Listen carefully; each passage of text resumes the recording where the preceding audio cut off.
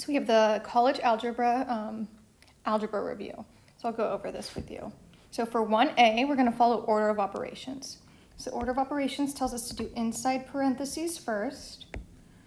So this will give us 1 minus 2, and then for the 3 minus 5, that gives us a negative 2 plus 2. I'm going to leave it in parentheses because these parentheses are telling us to multiply when it's just touching parentheses. So it's really tempting to do the 1 minus 2 out front, but order of operations tells us to do parentheses, exponents, multiplication and division are actually grouped together, and then addition and subtraction are grouped together. So next we're going to multiply. So we're going to get 1, we're going to get minus 2 times negative 2 is a negative 4, plus 2. So we actually have two negative signs. We have one from the subtraction and one from the multiplication. And so the double negative minus negative 4 turns into plus 4. So we get 1 plus 4 plus 2. And if you add those up, you get 7. So B will follow PEMDAS again. Um, we're going to treat the square root as parentheses, and we're going to treat the top of the um, fraction as parentheses. These are just versions of parentheses because they're groupings. So we'll do those first. So if I wanted to do 5 squared minus 4, that would be 25 minus 4, or that would be 21. So we're going to get 21 over 7. And then 11 minus 2 is 9. So then we're going to get the square root of 9. And then what we're going to do is we're going to do finish each of these individually, and then subtraction will come at the very end.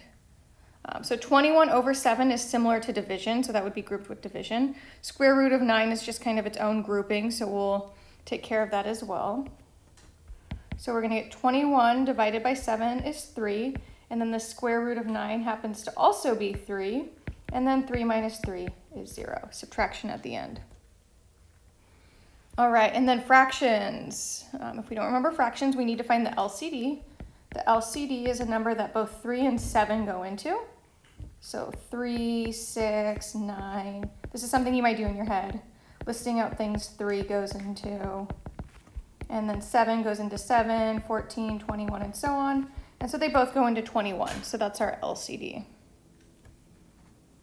So 3 times what is 21? 3 times 7 is 21. So I multiply top and bottom by 7. Um, same with the next one. 7 times what is 21? 7 times 3 is 21, so then I also multiply the top by 3. And so we get 14 over 21, 2 times 7 over 3 times 7, and then we get minus 4 times 3 is 12 over 21. And then we just subtract the top, we get 2, and then the bottom stays the same for LCD. So 2 over 21. And then D and E are similar but different. Um, so D is a square root, E is a cube root. It's a similar process, but slightly different. Um, so for a square root, we look for perfect squares. So what goes into 72? I think we could rewrite it as 36 times 2. And we like 36 because we know the square root of 36. The square root of 36 is 6, and that's because 6 times 6 is 36. We don't know the square root of 2, so it just stays as 6 root 2, and this is considered a perfect square. The cube root is a little trickier, um, so we could do a similar thought process. I just don't know perfect cubes as much, so sometimes I do the factor trees. Um, so we're looking for like what goes into 72. Um, anything, 9 and 8, and then 9 is 3 and 3, and then the factor tree we stop at prime numbers. Nothing else goes into 3 other than 3. Numbers go into 8, so 8 would be 2 times 4. And then nothing goes into 2, so we stop. But then 4 could be 2 and 2, so we keep going. So instead of writing 36 times 2, we'll write 3 times 3 times 2 times 2 times 2. And we could have done this in part D as well, and we would look for pairs in D because pairs are squared. But in this one, we're going to look for triples because that would be cubed. So two, three twos. So I'm going to put the 3 and the 3 together, which make 9, and then the three twos would be the same as 2 cubed. And so triples cancel out. These cancel each other out, and then we get 2 cube root 9. And the you could have done doubles in this one. So it was still 72, so it's still 3, 3, 2, 2, 2.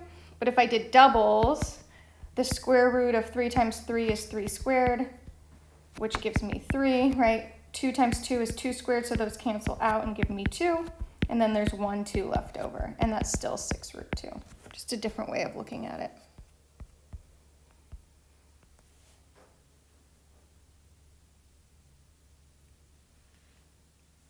Let's um, simplify some expressions, and then you can always pause and come back to this if you're still working on the other ones.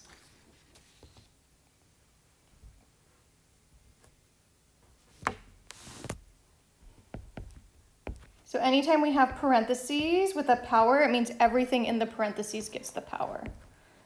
So we're going to have 3x y squared, and then all of those are going to get the 2 power. And then y squared squared is going to be a power to a power. And then on the bottom, there are no parentheses or powers, so I'm just going to leave the bottom as is. And we'll simplify a little and see where this goes. So 3 squared is 9 x squared is x squared, and then these we're going to multiply, we get y to the fourth. All over 3x squared, y to the fifth. And then we'll just simplify the things that go together. So 9 over 3 gives me 3. X over x and x squared over x squared cancel each other out. And then with the y's, I have 4 on top and 5 on the bottom, so that means there's 1 left over on the bottom. There's 1 more on the top we could think of it as y, one, two, three, four, one, two, three, four, five, right? So four of them cancel and one is left over. Um, so pause if you need to. I'm going to keep going. Negative powers tell us to flip it. Um, so what I'm going to do is I'm going to distribute this power like I did in the previous example, and then if we have any negative powers left over, we're going to flip them upside down. So right now, everything gets the power because the parentheses are on the top and the bottom. So I'm going to write everything out, make room to add the power. And so everything is going to get the power of negative 2.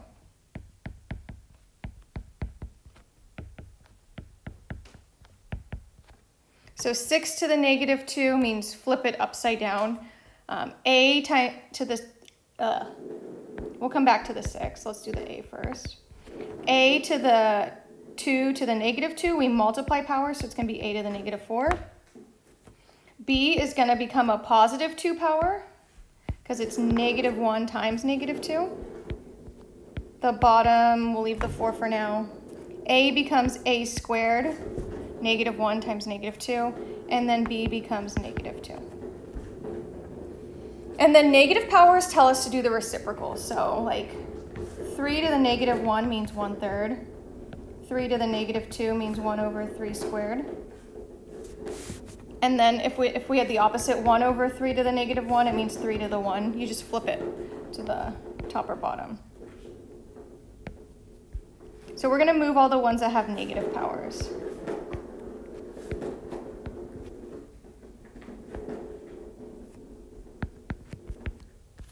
So b squared I'm going to leave on top, a squared I'm going to leave on bottom, and then 6 squared is going to move to the bottom, and 4 squared is going to move to the top. So when you move it, it turns into a positive power. a is going to be a to the fourth on the bottom, and then b is going to be b squared on top. And then we can simplify this a bit. So 4 squared is 16. b squared and b squared, this is when we add powers. So it'll be b to the fourth we get 36, and then this is again when we add powers, so we get a to the sixth. So multiplying powers is when we have parentheses like that. Adding powers is when we have two different terms. And then the only other thing I notice is A and B are different letters, so we're going to leave those alone, but 16 and 36 are both divisible by 4. So we can simplify the fraction a little. So we're going to get 4b to the fourth. 16 divided by 4 is 4. 36 divided by 4 is 9. a to the sixth, and that'll be our final answer. All right, let's do C and D, and then we'll do the rest in another video. So C, we're gonna do what we did in that last problem, but then it's gonna have some extra steps because there's two of them. So what goes into 24?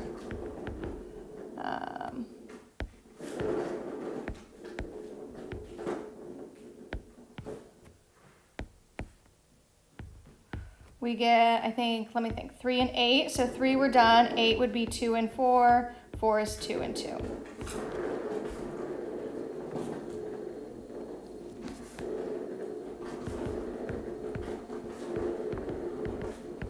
So 24 is 2, 2, 2, 3. Try to do 81 without me. But if you need it, 81, I can think of 9 and 9. And then both of those will keep going. 3, 3, 3, 3. So four threes. All right, I'm gonna just get this out of the way. And again, this is a cube root, so we're gonna look for triples. So I see three twos, and then the other one I see three threes, and then both of them happen to have a three left over. So the cube root of two times two times two is just two. Um, they're the opposites of each other. So the long way of thinking of it is it's two cubed. So it's the cube root of two cubed times the cube root of three the cube root of 3 cubed minus times the cube root of 3. And these, like, the third power and a cube root cancel each other out. So we get 2 cube root 3, and then we get 3 cube root 3. And these are considered like terms. It's kind of like having 2x minus 3x or 2y minus 3y. They just both happen to be cube roots. So we'll do 2 minus 3, which is negative 1, times the cube root of 3, so just negative cube root 3. It's called a like term. All right, and then this last one, pause if you need more time. I'm just going to do this last one, and we'll come back to the other problems later. This is called rationalizing a denominator. We don't like square roots on the bottom. And we rationalize by multiplying by like the opposite. It's called a conjugate. So we take the same thing but with a plus sign.